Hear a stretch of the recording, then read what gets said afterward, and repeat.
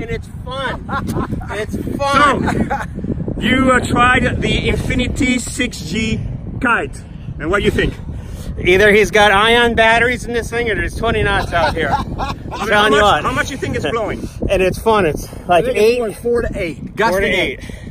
And you are 240 pounds. 240 pounds. We thought you were I in lied a little, I lied a little. Wow. I carry my, look at these legs. Come on, I carry my weight well. And you were using another kite when I came up, and it was a little bit more breezy than now. Yeah, my Star 17 doesn't hold a Will I candle, and I've, and I've ridden a overpowered at 48? Contra. That's, that's nothing. Will I be Smokes overpowered Contra. four to eight knots here? Hey, You're not going to believe it. You're not going to believe it. So how was it? oh my gosh. What have I been out? Three hours in four to eight knots. So what do you And, think uh, about the Infinity uh, 6G? I had the most incredible light wind kite on the Earth planet.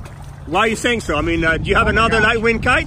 I have an 18, Yeah, and uh, uh, and they won't even stay in the air in the conditions we've been in today. And I've had to be uh, depowered and uh, just fully edging, just uh, going upwind, no problem. so how, but it- how much do you think it's blowing? I mean, there's foilers out there. Uh, it, it's probably now. It's probably more like uh, three to six, three to seven, probably seven max right now. Uh, but it, it, this is just the most phenomenal light wind kite on the planet. Period.